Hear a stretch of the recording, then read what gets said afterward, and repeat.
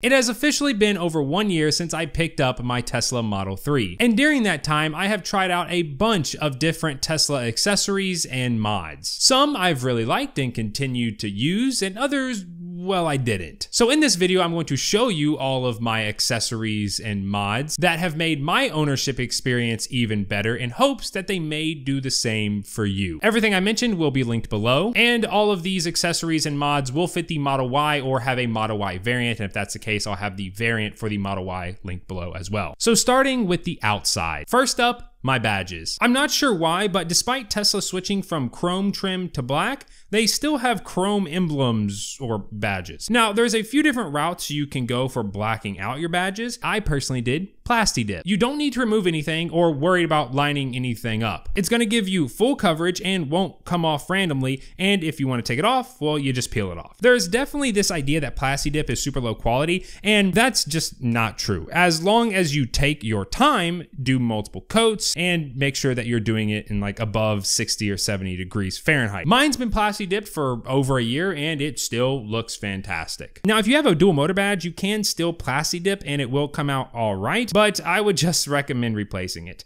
I'll have a kit linked below where all the lettering is in an alignment tool, so you can just put the whole thing up to the car and stick, no placing it letter by letter. Also, if you're planning to remove your badges but don't know how, just grab a heat gun and some fishing line. If you don't have that, try a hair dryer and some dental floss. That's what I used, and while I went through almost an entire thing of floss, it worked. I have my front end completely debadged, my rear T plasti dipped, and my dual motor badge replaced. Next up is something that you probably can't see unless you're super close up to the car, my rim protectors. I recently made an entire video covering these, so I don't have too much to say that I didn't already say in that video. They are easy and straightforward to put on, provide really good coverage and protection, look practically invisible, very cheap to replace versus repairing a rim, and they're available for the Model 3 Uber turbines, Model Y Uber turbines, and Model Y induction wheels. Now, the next thing is not something I currently have on the car, but I'm about to within the next month or so, my winter wheels. I ended up going with T Sportline TS5 18 inches wrapped in Michelin cross climate twos.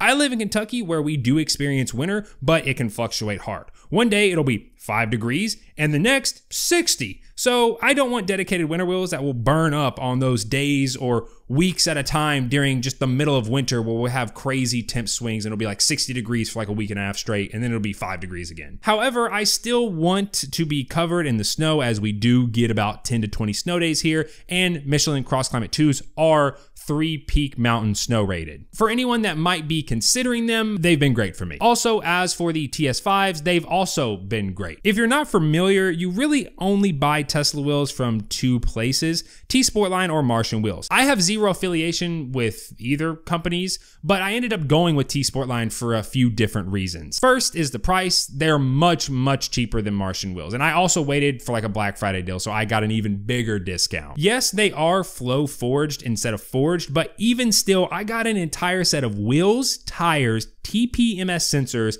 and lug caps for only a few hundred more than what just the wheels alone would have costed me from Martian Wheels. Secondly, the convenience. T Sportline offers wheel and tire packages, so your wheels show up already wrapped in the tire of your choosing. And they're plug and play as they come balanced. All you got to do is just slap them on. You use your factory lugs.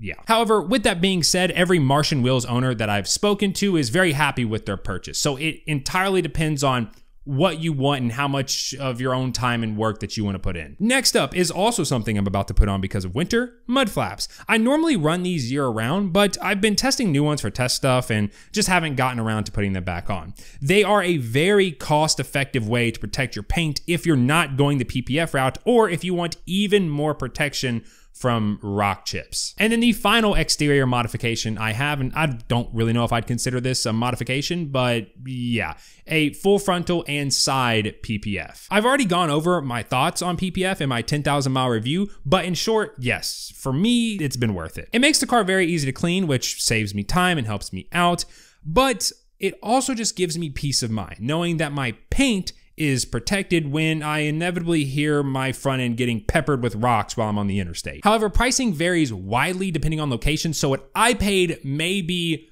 far less than what you're quoted and what you would pay. And at that point, it might not be worth it for you. If you're in the Louisville area, I'll have where I went and where I recommend because they did such a fantastic job, link down below. Now for the interior. The very first thing I put in my car was all weather floor mats. And I mean everywhere driver, passenger, rear passenger, trunk, trunk well, front, back of seats, everything. Floor mats are actually what kickstarted TesStuff as I had went through probably 10 plus different brands of floor mats and I just couldn't find any that I liked, so I ended up just making my own. They are minimal, no badging or big ugly logos, lightweight XPE, full coverage, and well, you all also seem to really like what I was personally looking for, as we can never keep them in stock. If you actually use your car and don't just baby it, I would recommend some all weather floor mats just for the added protection. Now, this next accessory is definitely in my top three, and if you've been watching the channel for a while, you probably already know what it is. It is something that once you use, you cannot go back a rotating screen mount. I can't really describe how it feels other than it ruins every other Model 3 or Y that doesn't have one. The ability to rotate the screen towards you and slightly up, and remember that the the Gen 2s go left, right, up, and down, or the Gen 1s only go left and right, is just amazing.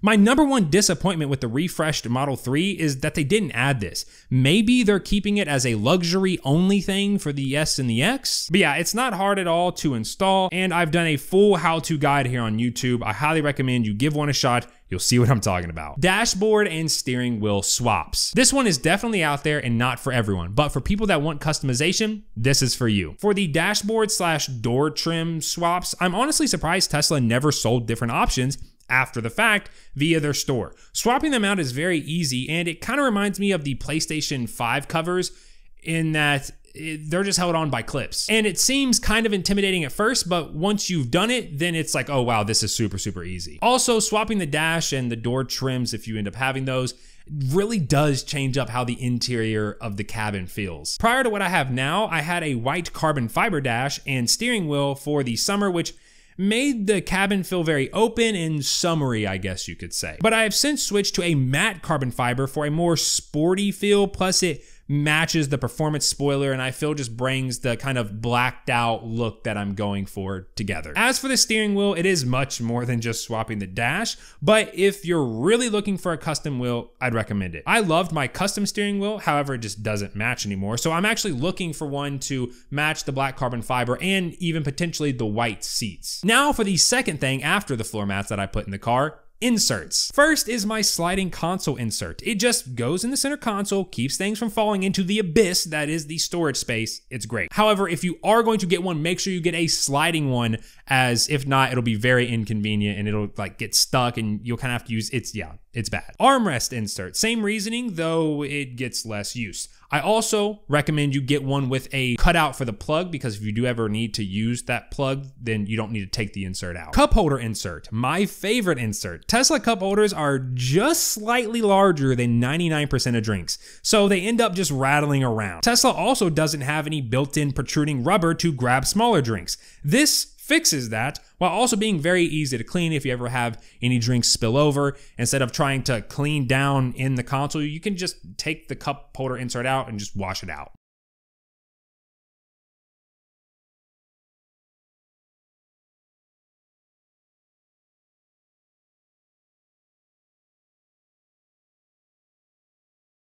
Now, this next accessory is something I always forget I have, an SSD for Sentry slash dashcam. For my use cases, an SSD works perfectly. However, if you experience extreme climate, you may want to look into an Endurance micro SD card setup, which I've discussed in the past. I ended up going with the Samsung T7 1 terabyte, and I have never had to erase or format anything since putting it in the car. I've also never had any problems with it overheating or being slow. Next up is a phone mount, and a lot of people think these are stupid because, well, you have a massive center screen right there. However, if you need your phone for navigation, like Waze or something else, maybe work related, then well, you know that a phone mount is going to be a must. I currently use a MagBak, and while I'm still not the biggest fan of phone mounts attached to the screen, it's definitely the best one that does attach to the screen while also being a charger. Now, for something that every time I mention it, people like think I'm a criminal or something, Uh, but I personally love my radar detector. You might notice that there's no big wire hanging down and it auto turns on and off via the weight sensor in the driver's seat whenever I get in and pressing the brake. I have a Uniden R8, gonna go out on a limb and say this is the best consumer grade radar detector you can buy right now. And it is attached to my rear view mirror via a BlendMount and is hardwired into a 12 volt switch. I have an entire walkthrough video here on the channel of how I did this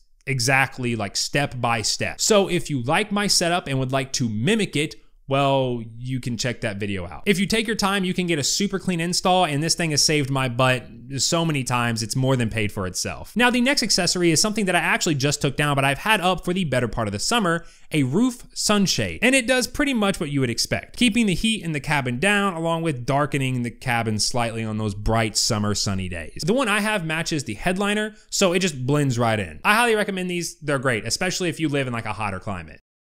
Editing Jeremiah here, and I ended up forgetting two pretty essential accessories. First is a screen protector. Highly recommend this. Uh, it does what it says it does. It protects the screen from, you know, dings or scratches. Maybe you have animals or kids that get up in the front. Highly recommend it. Also, you can get matte versions to help with glare, and the screen protectors have an oleophobic coating, which makes the touching and swiping experience much better. Highly recommend one. The second accessory is jack pads in case I ever need like roadside assistance and then the roadside assistance comes out and they don't have jack pad adapters because you need jack pads to jack up these cars properly without, you know, damaging the battery. So yeah, two very essential accessories that I did not want to leave out. Back to the video. Then the last modification for the interior and definitely what I get the most questions on my tint. Tint is very subjective, and you can by all means DM me over on Twitter or technically X now with your general location and what you're wanting to achieve, and I'd be able to give you a good uh, idea, rough recommendation on what you should get. However, I may or may not have 20% all around with the full back glass. Also, I totally don't have my windshield tinted, but if I ever did, 50%. And if someone ever wanted to see what it looked like driving at night, with 50% on the windshield and maybe 50% tint on the headlights, you might just be able to look at your screen and see that it looks completely fine. Now, as for the other accessories I use, well, I just made a video on the Fanttik tire inflator and portable vacuums, and I keep them in my car pretty much at all times, so I thought that I would include them here. The tire inflator reads your PSI when connected and auto shuts off when it's at your desired PSI has a big enough battery to pump up all four wheels multiple times, doubles as a flashlight, and triples as a battery bank for your devices in case your car is ever dead or something and your devices are dead. Plus, I think everyone should just have a tire inflator with them at all times, just in case. Then the vacuum, while not having as much utility as the tire inflator, is very nice for its portability, power, and ease of use slash cleaning it. I used to vacuum once a month and my floors would be a wreck when I did vacuum them. But now that I have this, I just hit the floors once every like two to three days and they're much more clean. Like my car just stays a lot cleaner now. And lastly, charging accessories because, well, it's an EV. As for the on the road accessories, I have a J1772 adapter along with a Karen lock. The J1772 is very handy for level 2 public charging like at hotels, parking garages, parks, etc. As for my Karen lock, I finally upgraded to one of the more premium ones. The premium ones are like 4 extra dollars over the standard ones because I've been doing a lot more on the street public charging. The J1772 came with my car, but if yours didn't, you can pick one up from Tesla, and these Karen locks, you can just pick them up on Amazon. I'm surprised Tesla doesn't make Karen locks. Then my other on the road accessory is the $250 paperweight, aka the CCS adapter. Despite me making fun of it, I'm still glad I have it just in case I ever need it. Plus, with how much free charging I've gotten from Electrify America, it's more than paid for itself. They are now 175 from Tesla, so actually a little bit cheaper, but you do need to make sure whether your Tesla has CCS support. And well, if it doesn't, that's another 450. At that point, I wouldn't bother with it. And even if you do have CCS support, with all of the uh, NACS announcements and manufacturers switching over, I just don't really see the point to buy one anymore. Like maybe if you live near an Electrify America currently that has CCS and they offer a ton of free charging, you might be able to make your money back and then you pretty much just kind of have it for free but it's kind of just a paperweight because I haven't used mine in ages. Then my home charging setup, which I have done a whole video on along with recommendations on what you should get based on what your needs are. But I ended up getting a NEMA 1450 installed a foot away from my panel and used the Gen 2 mobile connector with a NEMA 1450 adapter. I do not carry the mobile connector with me, even though I probably should, but I guess that just goes to show how much I believe in the Tesla supercharging network or maybe just how dumb I am. But I've done full like thousand plus mile road trips without it and was just fine. This setup gets me roughly seven to eight kilowatts and will easily take me from zero to 100% overnight. But those are all of my accessories and modifications so far. I say so far because I'm always trying out new accessories and swapping them in and out of my car as well, I literally own an accessories shop, but yeah, if you have ones that you think I should try out, then drop them down below and I'll definitely give them a shot. Like I said, you can find everything linked below. And if you are new here and you want to see more Tesla stuff in your YouTube inbox, then feel free to subscribe. I'd appreciate it. And I will catch you all in the next one. Peace.